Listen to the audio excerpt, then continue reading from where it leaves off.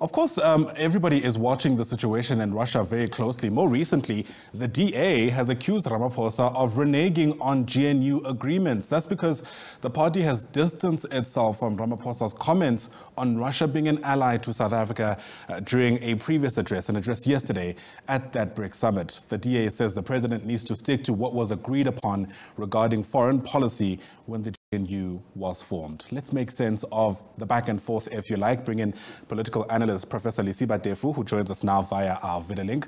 Prof, it's been a while. Thank you for your time and your patience. Always great to see you um, as we make sense of some of what is said and perhaps some of what is not said. I think very few people are surprised that this has now taken place. The question, I suppose, becomes do the political parties, or more specifically, the politicians who form part of this government, do they have the requisite maturity to be able to navigate through these expected differences?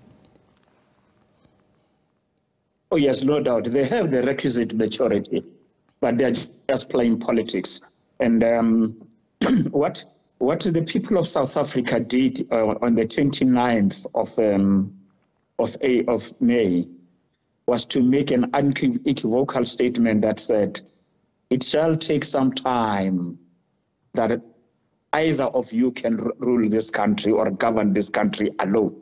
And I dare say, I don't see in the next 15 to 20 years one single party governing this party. This. So let's just, they must just make peace with the fact that they will have to work together. Never mind the inconveniences of any marriage or any setup. The DA needs the ANC, the ANC needs the DA. There might be other parties that we can bring on board. But these two, for now, uh, have the necessary numerical strength and the experience in governance, and therefore, they, the sooner they agree that uh, they will differ, they must manage their differences, but it must always be in the interest of the people of South Africa, who told them in one clear terms that neither of you has the sole mandate to govern. Yeah, it's interesting you say that because the spokesperson of the ANC has already been quoted as saying that the DA mustn't think that they have veto powers within the GNU. And so I suppose uh, the question becomes whether or not uh, these parties are managing this codependence that you speak of well, even though, to be fair, we are still at this very early stage of this alliance. Well, it's, it's fairly early. But you know what surprises me? is the excitement around the statement by, made by John by, by uh, Minister Steenhuisen, right? Because the, for me, there's nothing surprising there. Mm. I expected that. Remember, in the history that I'm familiar with, they've never ever taken a posture that say, seemed and wanted to embrace uh, Russia, right? And in the main, the East. And they, they take their cue from the West, in the main from America. And if you push it further, I would say, had it not been for the East, maybe you and I wouldn't be speaking this language. Maybe some of us would still be in the bush trying to fight for the liberation of this country. So, as Mandela said, prescribe not for me who my friends should be. During the war, you were not for, with me. Now, we, during peace, you want to dictate to me who my friends should be.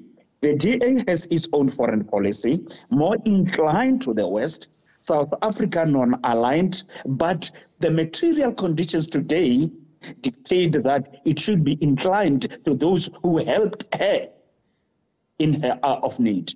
And that I find understandable, reasonable, and comprehensible.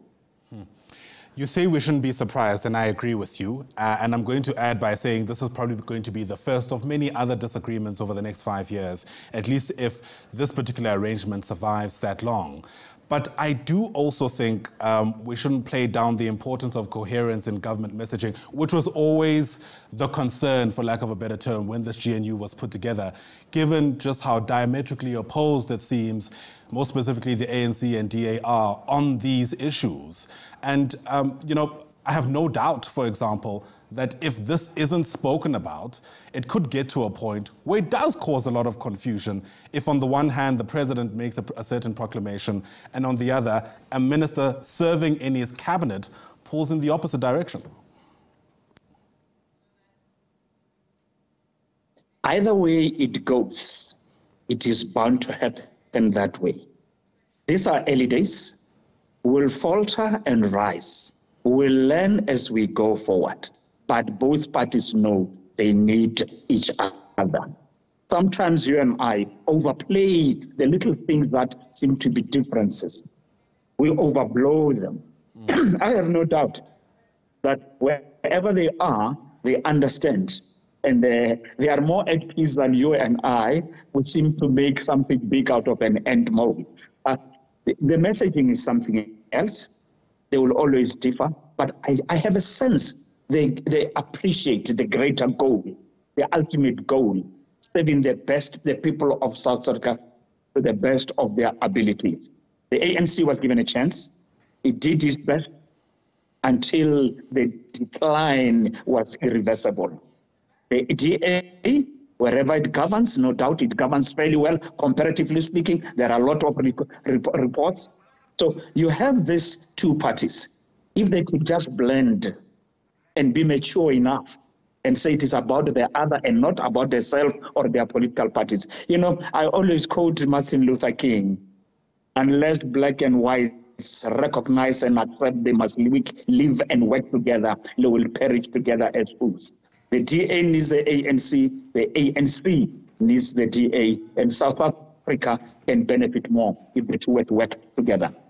That's interesting. All right, if we accept what you say, then perhaps you can then take us into the mind of the DA, and more specifically, John Steenhuisen, uh, to whom these remarks are being attributed. Why make a statement like that then to begin with, if both parties appreciate that, frankly, this codependency is what is necessary for both their survivals? Why go there to begin with? I mean, is it just to bait the media and every other fool in the country? Look, he has his own constituency. He has his own identity. He has to protect and to preserve and project it to his electorate, right? But at the same time, he must know there is a limit to that. Because if you push it too hard, it might be detrimental to the very view that I think he shares that this government of national unity must work. I have no doubt that he wants it to work. And I, I'm one of those who believe it is going to live up to the last day of its term. Five, five years, it will go through that with all the ups and downs and challenges. And um, uh, those who occasionally go to church, I will invoke them that they must also not forget to pray for it to work, rather than to work against it. Like I know that there are other parties who are praying day and night and speaking the language that seemed to suggest if it were to collapse yesterday, they would celebrate. Of course, uh, the members of the GNU, uh, you know, it's not lost to them that they need a way to be able to deal with these differences. In fact, some kind of mechanism is being announced today um, in Tuynhuys in Parliament. It's going to be led by the Deputy President, Paul Mashatile. Um, we don't know what, you know, the dynamics are in there. I suppose the word I'm looking for is the details of how this mechanism is going to work. But in your mind, I mean, how should the structure be put together if, in fact, those who want this GNU to work are to have it their way? They take too long to act on this. Why should it really take six, six months? Remember, um, Deputy President Mashatile has been at this for quite some time, and I commend him for that. But should it take that long? That it even begin to militate against the good intentions and the vision they have had when they put the government of national unity together. We talk too much and act less.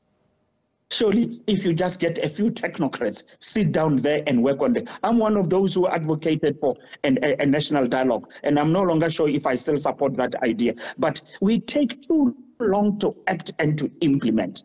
I mean, really, to come up with a document, a 10 pager that says this is a resol- dispute resolution mechanism decided upon by the parties that are there and also invoking some experts, if needs be, from outside to help us do that. And I would be happy if we were to go to the West, right? They have had, Germany has had, for how many times, right? Um, Italy, how many times? Britain, how, they, many countries in Europe have lived under government of national unity. Can't we take a cue from them? As instead of trying to reinvent the, the wheel, it is doable. It can be done. I surely, in less than a month, they could have done this. Put up the structure, get the experts from within and outside, because the politicians alone are always self-serving. They are always about power. We may not go too far. Hmm. I'm interested in the remark you made about you no longer supporting a national dialogue or the idea of one. Tell us why. Yeah, look, I, I wrote a piece some time back in the Citizen, da, da, da, and so on. I debated this, right?